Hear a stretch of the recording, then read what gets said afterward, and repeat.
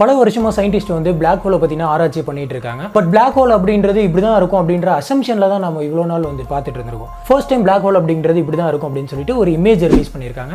So இந்த இமேஜை release பண்ணது பார்த்தீங்கன்னா டென்த் ஏப்ரல் டூ தௌசண்ட் நைன்டீனில் பட் இந்த இமேஜை பற்றி நம்ம வீடியோவோட கடைசியில் பார்த்தலாம் இதுக்கு முன்னாடி பிளாக் ஹோல் அப்படின்னா என்ன? இது எப்படி கிரியேட் ஆகும் அப்படின்ற டீட்டெயில்ஸை பார்த்துட்டு கடைசி அந்த ஃபோட்டோ பற்றி பார்க்கலாம். ஸோ பிளாக் ஹோலை பற்றி நம்ம தெரிஞ்சுக்கிறதுக்கு முன்னாடி சில விஷயங்கள் நம்ம பார்க்க வேண்டியது இருக்குது இது வந்துட்டு பார்த்தீங்கன்னா வீடியோவில் பின்னாடி எக்ஸ்பிளைன் பண்ணுறதுக்கு ரொம்ப யூஸ்ஃபுல்லாக இருக்கும். ஃபர்ஸ்ட் நம்ம பார்க்க போகிறது என்னன்னு பார்த்தீங்கன்னா light year light year light year இத்தனை லைட் இயர் அப்படின்னு சொல்கிறாங்க ஸோ லைட் இயர்னா என்ன?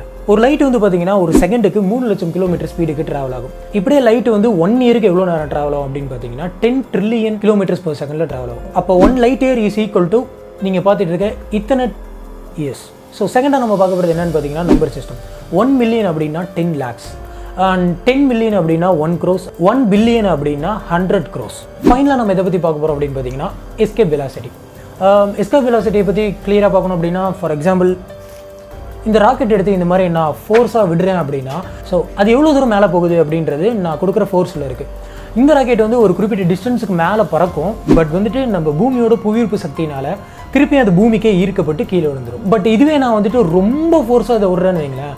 அது ரொம்ப ஹைட்டாக போகும். பட் திருப்பியும் கிராவிட்டியோட ஃபோர்ஸ்னால திருப்பி கீழே வந்துடும் ஃபார் எக்ஸாம்பிள் இந்த வாட்டி நம்ம வந்துட்டு ஒரு ஒரிஜினல் ராக்கெட் எடுத்துப்போம்.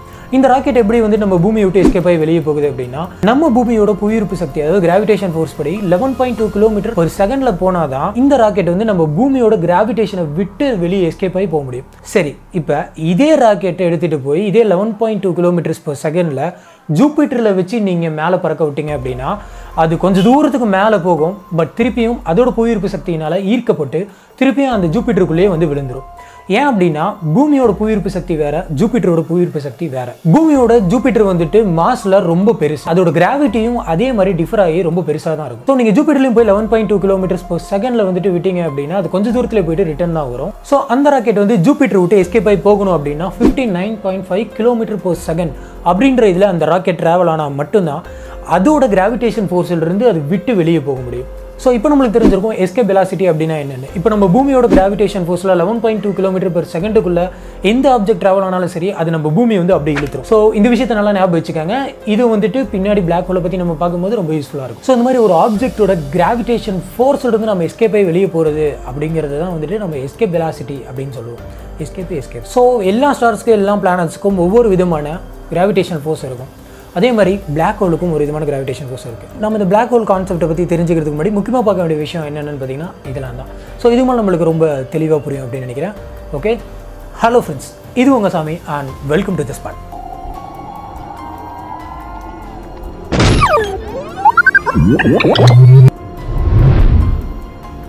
black ஹோல்னா என்ன? ஃபர்ஸ்ட் பேர்ல இருந்து வரும் பிளாக் ஹோல் அப்படிங்கிறது பிளாக்கா இருக்குமா? ஆக்சுவலா இந்த பிளாக் ஹோல் அப்படின்றது இன்விசிபிளாக இருக்கும். நம்ம கண்ணுக்கே தெரியாது. அதை நம்மளால பார்க்கவும் முடியாது. பிளாக் ஹோல் அப்படின்ற நேம் வைக்கிறதுக்கு முன்னாடி எல்லாரும் என்ன சொல்லிட்டு இருந்தாங்கன்னா இந்த மாதிரி ஸ்பேஸில் பயங்கரமான ஒன்று இருக்குது இதுக்கு பயங்கரமான கிராவிடேஷன் ஃபோர்ஸ் இருக்குது இதுக்கு பக்கத்தில் என்ன போனாலும் அதை கம்ப்ளீட்டாக அது ஈர்த்துரும். லைட்டை கூட இது விட்டு வைக்காது அப்படின்னு நிறைய பேர் சொல்லிட்டு இருந்தாங்க. நைன்டீன் சிக்ஸ்டீனில் ஐன்ஸ்டீன் ஜென்ரல் தியரி ஆஃப் ரிலேட்டிவிட்டிலும் இதை பற்றி சொல்லியிருக்காரு. நைன்டீன் சிக்ஸ்டி செவனில் அமெரிக்கன் ஆஸ்டமர் ஜான் வீலருங்கிறவர் தான் ஃபஸ்ட்டு ஃபஸ்ட்டு இதுக்கு பிளாக் ஹோல் அப்படின்ற நேமை வைக்கிறாரு. நைன்டீன் செவன்ட்டி ஒனில் ஃபஸ்ட்டு பிளாக் ஹோலை கண்டுபிடிக்கிறாங்க. இதுக்கப்புறம் நிறைய பிளாக் ஹோல் கண்டுபிடிச்சிருக்காங்க. ஏன் நம்ம கேலக்சியோட சென்டர்லேயே சகிட்டேரியஸ் அப்படிங்கிற ஒரு பிளாக் ஹோலை கண்டுபிடிச்சிருக்காங்க. பட் இது வரைக்கும் பிளாக் ஹோல் அப்படின்ற ஒன்று இப்படி தான் இருக்கும் அப்படின்னு நம்மளே இமேஜின் பண்ணிக்கிட்டு இருந்தோம். அண்ட் மூவிஸில் நம்ம பார்த்தது ஃபோட்டோஸில் பார்த்தது இந்த மாதிரி எல்லாமே நம்மளுடைய இமேஜினேஷனால் உருவாக்கப்பட்ட கிராஃபிக்ஸ் தான். இப்போ தான் ஃபஸ்ட்டு டைம் இதோட ஃபோட்டோ நமக்கு கிடச்சிருக்கு. பிளாக் ஹோல் இன்விசிபிளாக இருக்குது அப்புறம் எப்படி அதை கண்டுபிடிச்சாங்க அப்படின்னா பிளாக் ஹோலை சுற்றி பயங்கரமான கிராவிடேஷன் ஃபோர்ஸ் இருக்குது அப்படிங்கிறதுனால அதுக்கு பக்கத்தில் இருக்க லைட் உட்பட எல்லாத்தையும் வேக வேகனா இது உள்ளே இழுத்துட்டு இருக்கும். அப்போ அந்த பிளாக் ஹோலை சுற்றியும் அது சுற்ற ஆரம்பிக்கும். அந்த சமயத்தில் அது மொத்தமாக சுற்றி அங்கே ஒரு லைட் ப்ரொடியூஸ் ஆகுது. இதெல்லாம் வச்சு தான் வந்து பார்த்திங்கன்னா அந்த இடத்துல பிளாக் ஹோல் இருக்கிறத கண்டுபிடிக்கிறாங்க.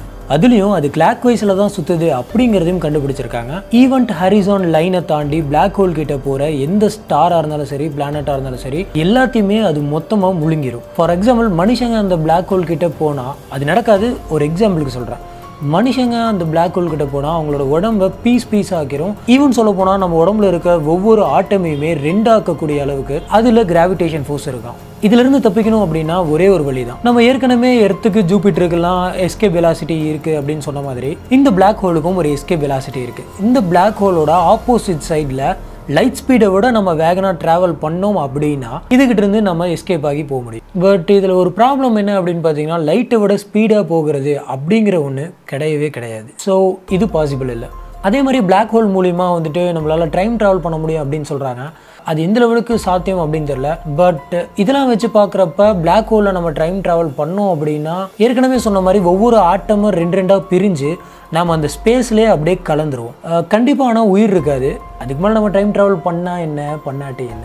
ஓகே இப்போ இந்த பிளாக் ஹோல் எப்படி கிரியேட் ஆகுது அப்படின்றத பார்க்க போகிறோம் ஸோ மனுஷங்களோட லைஃப் சைக்கிள் எப்படி குழந்தை பருவம் இளமை பருவம் முதியோர் அப்படின்ட்டு நிறைய கேட்டகரி இருக்கோ அதே மாதிரி ஸ்டார்ஸ்க்கும் வந்து பார்த்திங்கன்னா ஒரு லைஃப் சைக்கிள் இருக்குது ஃபஸ்ட்டு ஸ்டெல்லர் நிபுலா அப்படின்ற ஒன்று இருக்கும். இந்த ஸ்டெல்லர் நிபுலாவில் என்ன இருக்கும் அப்படின்னு பார்த்தீங்கன்னா மேசிவான clouds dust hydrogen helium gas plasma இந்த மாதிரி நிறையா விஷயம் இருக்கும். இதுல தான் வந்து பார்த்திங்கன்னா எல்லா ஸ்டார்ஸுமே பிறக்குது. இப்படி ஸ்டெல்லர் நிபுலாலேருந்து வர்றதை நம்ம ரெண்டு விதமான ஸ்டாராக பிரிக்கலாம். ஃபஸ்ட்டு ஆவரேஜ் ஸ்டார் இன்னொன்று மேசிவான ஸ்டார் ஃபஸ்ட் நம்ம ஃபஸ்ட் கேட்டகரிக்கு போவோம். ஆக்சுவலாக நம்ம சன் பார்த்தீங்கன்னா ஒரு ஆவரேஜான ஸ்டார் தான். இந்த ஆவரேஜான ஸ்டார் வந்து ரெட் ஜெயிண்டாக மாறுது. அதுக்கப்புறம் நடக்கக்கூடிய ரியாக்ஷனால பிளான்டிட்டரி நிபுலாவாக மாறுது. அதுக்கப்புறம் ஒயிட் ட்ரிஃப்டாக மாறுது. அதாவது நம்ம சன்னுனால பிளாக் ஹோலாக மாற முடியாது. ஸ்டெல்லர் நிபுலாவிலிருந்து மேசிவ் ஸ்டாரை கிரியேட் பண்ணுது அப்படின்னா அந்த மேசிவ் ஸ்டார் வந்துட்டு ரெட் சூப்பர் ஜெயிண்டாக மாறுது. அந்த ரெட் சூப்பர் ஜெயிண்ட் வந்துட்டு சூப்பர் நோவாவாக மாறுது. இந்த சூப்பர் நோவோட சில ரியாக்ஷன்ஸ்னால நியூட்ரன் ஸ்டாராக மாற வாய்ப்பு இருக்குது ப்ளஸ் பிளாக் ஹோலாகவும் மாற வாய்ப்பு இருக்குது இது எப்படி சூப்பர் நோவாலேருந்து பிளாக் ஹோலாக மாறுது? ஏற்கனவே நம்ம பார்த்த மாதிரி நம்ம சன் வந்துட்டு பிளாக் ஹோலாக மாற முடியாது. அது காரணம் என்னன்னு பார்த்தீங்கன்னா அது வந்துட்டு ஆவரேஜ் ஸ்டார் தான். ஸோ மேசிவ் ஸ்டார் மூலிமா மட்டும்தான் பிளாக் ஹோலாக மாற முடியும். அப்படி பார்த்தீங்கன்னா நம்ம சன்னோட இருபது மடங்கு மாஸ் அதிகமாக இருக்கக்கூடிய ஒரு ஸ்டார்னால தான் பிளாக் ஹோலாக மாற முடியும். ஒரு எக்ஸாம்பிளுக்கு நம்மளோட சன்னி எடுத்துப்போம். இப்போ நம்ம இந்த சன்னு தான் மேசிவ் ஸ்டார் அப்படின்னு அஷ்யூம் பண்ணிப்போம். நம்ம சன்னுக்குள்ளே வந்துட்டு ஒரு கோர் இருக்கும். இந்த கோர் வந்துட்டு நம்ம சன்னை சுற்றி இருக்க சர்ஃபேஸு எல்லாத்தையுமே அதுக்குள்ளே இருக்கக்கூடிய கிராவிடேஷன் ஃபோர்ஸ்னால உள்ளிழுத்துட்டு இருக்கும். பட் நம்ம சன்ல நியூக்ளியர் ரியாக்ஷன் நடந்துகிட்டு இருக்கிறதுனால நம்ம சன்னுக்குள்ள இருக்க கோரோட கிராவிடேஷன் ஃபோர்ஸுக்கு இது ஆப்போசிட்டா செயல்படுது. ஸோ இதனால இது வந்து பாத்தீங்கன்னா அப்படியே பேலன்ஸ் ஆயிருது. இதே மாதிரி வந்து பாத்தீங்கன்னா சன்னுக்குள்ள நியூக்ளியர் ரியாக்ஷன் நடந்துகிட்டே இருக்கும். பட் இப்படி நடந்துகிட்டே இருக்கும்போது அந்த நியூக்ளியர் ரியாக்ஷன் கொஞ்சம் கொஞ்சமா குறைய ஆரம்பிக்கும்.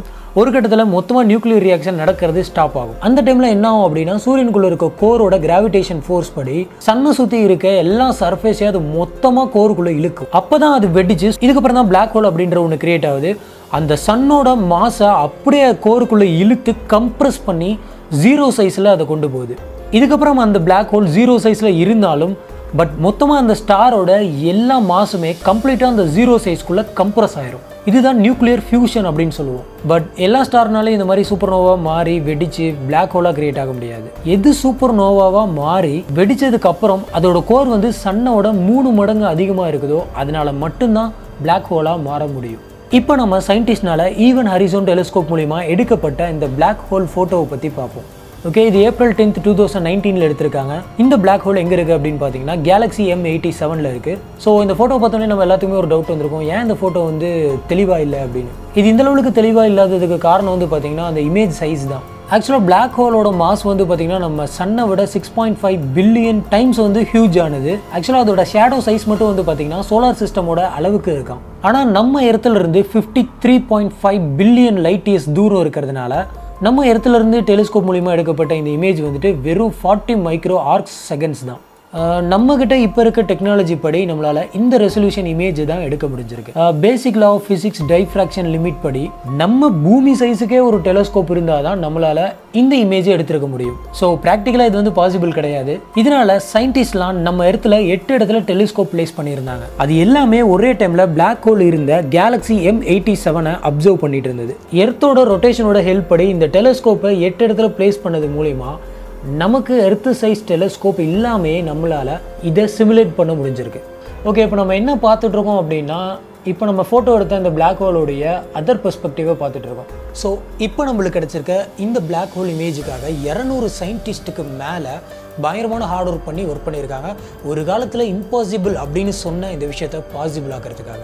ஸோ இந்த சமயத்தில் நம்மளுக்கு ஒரே ஒரு வருத்தம் தான். ஸ்டீஃபன் ஹாக்கிங்ஸ் அவர்கள் வந்துட்டு இதை பார்க்குறது நம்ம கூட இப்போ இல்லை அப்படிங்கிறது தான்.